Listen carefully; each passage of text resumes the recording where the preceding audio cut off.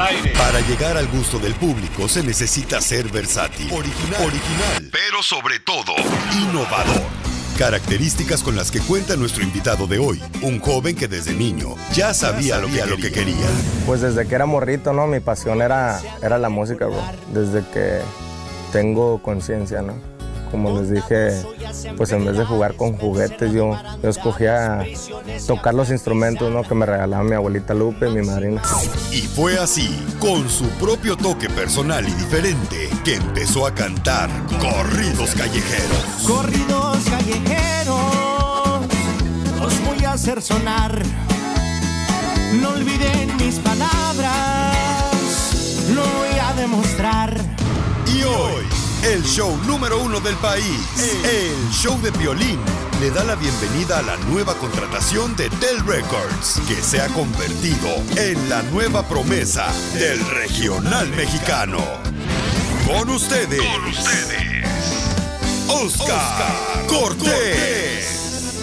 Oscar Cortés. Muchas gracias, viejo. Muchas gracias. Aquí andamos con todos los poderes del mundo, gracias a Dios, Polín. Oye, papuchón, entonces, ¿tus papás son de Chihuahua? Así es, mi madre es de Chihuahua y mi papá es de Jalisco. Un saludazo para toda mi gente de allá, viejo. ¿Y cómo fue que cruzaron la frontera, carnal? Porque estamos en la hora del migrante, tu Pues papá a tu muy mamá. temprana edad, viejo. A muy temprana edad se vinieron para este lado, pues al igual como usted dijo, para triunfar y para echarle ganas, ¿no? Con la familia. Pero cruzaron por la frontera, o sea, por el, por el cerro, por Pues, el río, por el... Cerro, viejo, mi papá, pues se aventó a temprana edad y mi mamá, pues cruzó por la frontera de Morrita. Entonces, Y hizo eh, sus estudios acá. ya. Entonces tu papá se cruzó por el cerro. Simón. ¿Cuánto le pagó el coyote? No estoy seguro, viejo. Pues yo no, no nacía todavía en esos momentos, ¿verdad? Pero, Ahí venías pero con él, pero no temprano. nacía. Y todavía. Y entonces, este, ¿tú no te acuerdas cuánto este, tu papá pagó? Exactamente no, viejo, la neta, no sé qué, cómo estuvo el rollo, pero sí, yo sé que se vinieron para acá y pues, bendito sea Dios, ¿no? Que, que aquí andan echándole ganas los viejones. Sin papeles ni nada, y se cruzaron es. para acá tu papá y tu mamá. Así es. ¿Y tu mamá qué edad tenía cuando cruzó la frontera? Y se me hace que estaba bien chiquita, como cinco, cuatro o cinco años, si no, Ajá. si no me confundo ahí. Y entonces, carnal, ¿cu- ¿cuál fue el primer jale que agarró tu papá cuando cruzó la frontera? Aquí, pues varios trabajos tuvo mi papá, pero en carpintería y trabajó mucho de eso. Y pues ahorita, pues es tornero el viejón y pues traemos escuela del viejo también. Ajá. Y entonces, este, tú, carnal, eh, o sea, ¿te acuerdas de tu jefe? O sea, ¿cómo fue que jalaban dos trabajos diferentes? Pues sí, trabajaba bastante. Mi, mi papá pues siempre ha sido el, el patrón de la casa, ¿no? El del hogar, pues y Ajá. siempre era... Vale. Hoy. Aquí está tu mamá y tu papá, mi compa Oscar, de Chihuahua y Jalisco. Presente los viejones. Aquí están presentes, Bauchón. Te quise dar esta sorpresa, campeón, porque son inmigrantes Piolín. triunfadores. Así es, oiga, la neta que sí. ¿Qué pasó, Bauchón? no, pues aquí. No, de que- ¿No te lo esperabas? no, pero pues sí, a ver, a ver. A ver, estamos preguntándole a su hijo Oscar, que ustedes cruzaron la frontera. ¿Cuánto pagaste por el coyote, papuchón? Apá. Eh, eh, Enrique, ¿cuánto pagaste por el coyote? Este, 150 dólares. 150 dólares. ¿Por dónde te cruzaron? Ahí por Tijuana. ¿Por Tijuana? ¿Y eh, por el cerro o por este...? Por el cerro, pero no caminábamos mucho, mucho en ese tiempo. ¿Ah, entonces volabas? No, no, no, no, no volaba, pero se caminaba muy poquito.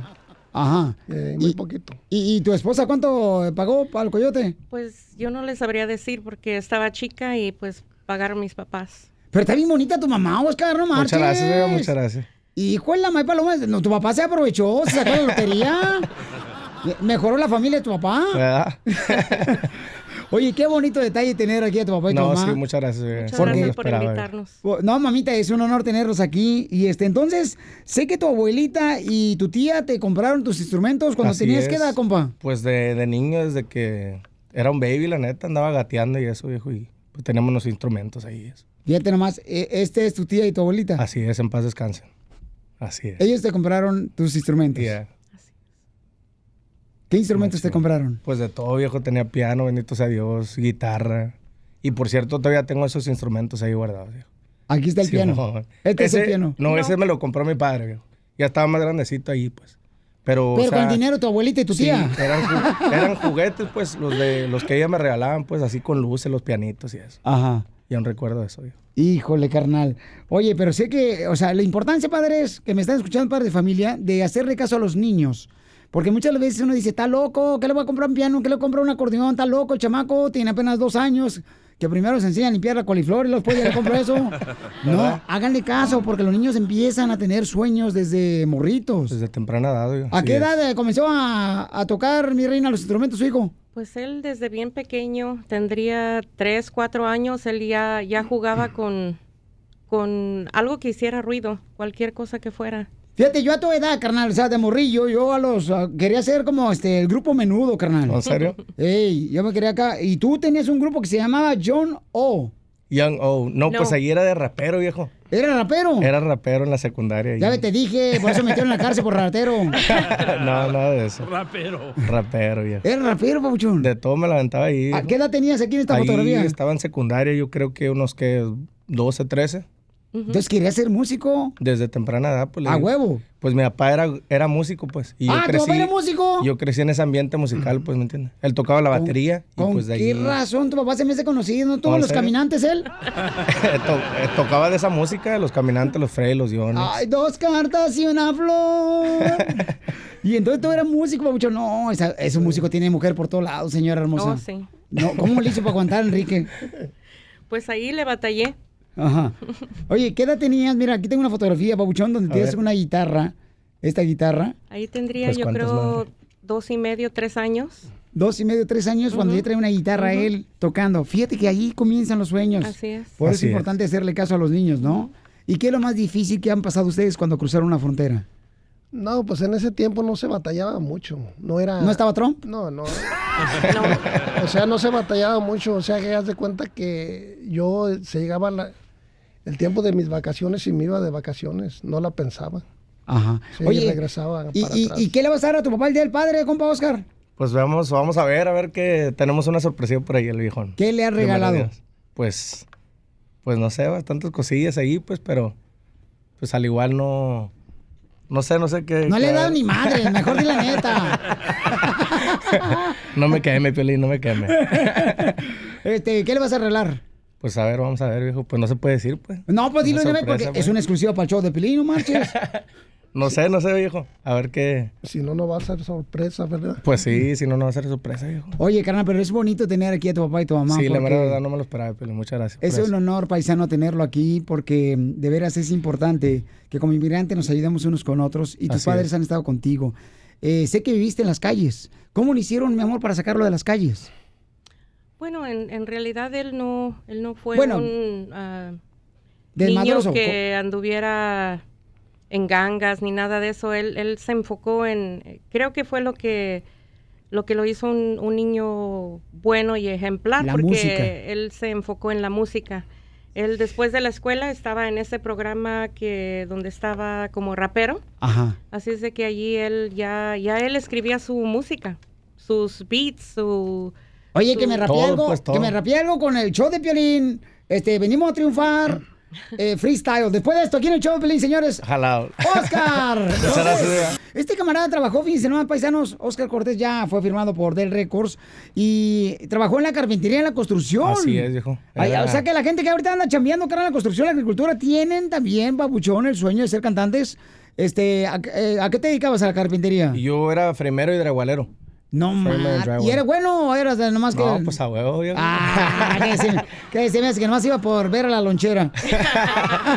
aparte, aparte, le echamos ganas ahí, gracias a Dios. Entonces, un freestyle, pabuchón. Jálese, viejo. Este, show de Piolín, ¿a qué venimos a triunfar? Ok. Em, y este, es todo. Y Oscar Cortés, dale. Ok, vámonos. Dale. A ver, a ver qué sale, a ver qué sale. Dale. Dice. Espérame, déjame ponerte aquí, Débora. Vamos, Ya. La bola roja por delante es increíble y a la vez interesante y también impactante cómo surge esta idea. En el mar soy capitán y por la selva una fiera, ¿quién creyera? Que llegaría hasta este día, la mera neta compitan y yo me lo creía, pero no puedo parar porque me alcanzan. Canto corridos callejeros, pero también alabanzas. Hay no más que quede claro, aunque me miren poco raro. Aquí vamos empezando, aquí vamos avanzando metas soñadas. Escuchen bien mi lírica y también mis tonadas. Yo agarrando el rollo con el piolín. Déjeme platicarle algo de mí. Y tú bien sabes que yo te vengo a contar. Aquí los mexicanos hoy venimos a triunfar. That's right. ¡Felicidades! ¡No marches! Canta igual que yo el compa.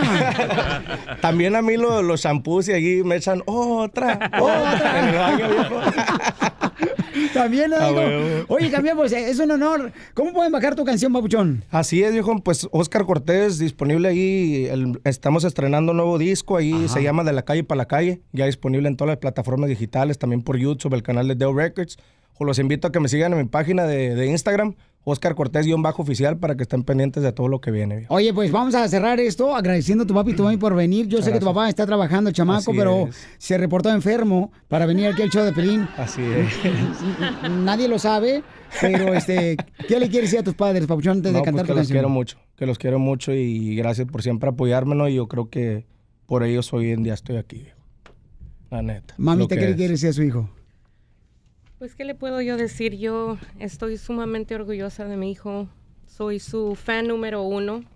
Este, y cada logro, cada cosa que él hace, pues me engrandece mi corazón. Me, me, me siento como un pavo real, para qué decirle de otra manera. este, yo le deseo todo lo mejor del mundo a mi hijo porque él se lo merece. Él ha trabajado y luchado mucho y Qué él solito. Así es de que, pues, es un gran orgullo para mí. Ah, qué chulada. Enrique. Ah, yo lo que le quiero decir que pues que le eche ganas y que donde quiera que se presente que, que sea siempre el mejor de los mejores. Sí, ¿verdad? No como el piolín, que es una cochinada nomás aquí. No, eh, eso- ese- esa es la meta que siempre le ha dicho yo a él, que cada vez que se presente, donde se presente, que trate de hacer lo mejor, o sea, lo mejor de él, que dé lo mejor de él. Eso me encantó, Papuchón. Vamos a cantar la rola, señor, para despedirnos aquí en el show de Pelín, ahora del migrante. Oscar Cortés, suéltala, compo. Pues que se escuche acá bien perrón. Alex viejón, algo de lo que estamos estrenando por ahí. Andan hablando. Dice más o menos, compadre. Le va. Dice, one, two, three, one, two, three. Oh, no. 3, 2, 1, 3, 2, que andan hablando muy mal de mí, que están criticando por cómo me vesté. Yo ando enfocado, no los quiero ni oír. No me importa lo que la gente piense de mí. Seguimos fabricando buenos para construir muchos perros ladrando, eso me hace reír. El morro de la cuadra quiere sobresalir. Muy pronto todo mundo va a escuchar de mí. Dice, corridos callejeros, os voy a hacer sonar. Olviden mis palabras, voy a demostrar. Pronto sus estéreos esto van a escuchar. Aquí dejo los sacos a ver cuáles va a quedar. Ahí la va con Pelín, dice.